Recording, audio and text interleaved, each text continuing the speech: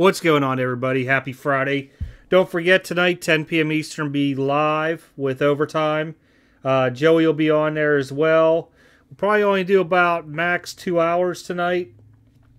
Uh, big topic is going to be with what's going to come out in a video tomorrow, but about uh, Panini's uh, redemption lawsuit or court case, whatever you want to call it, it's out there.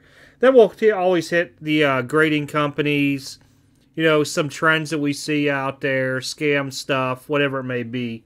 All right. Um, purpose of the video. This is what came in today. I originally it did, wasn't going to come in because the UPS truck broke down and they actually did deliver it. So kudos to UPS today. Uh, I got these. I know came out a while ago, but these come out in waves. Two more Chilling Reign.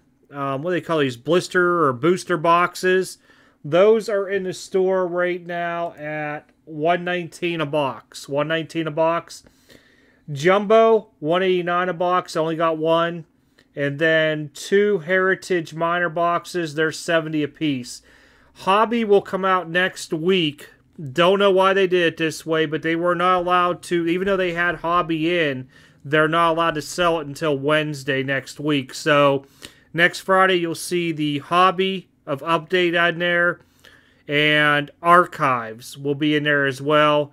And then I'll open up Triple Threads because it's just pricey uh, crazy pricey this year.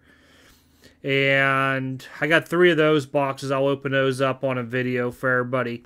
But other than that, have a good weekend. If I don't see you tonight, be sure to check out tomorrow's video talking about the redemptions and what Panini's saying in the court cases on their defense. Pretty crazy overall. Other than that, you guys have a good weekend. Catch y'all next video.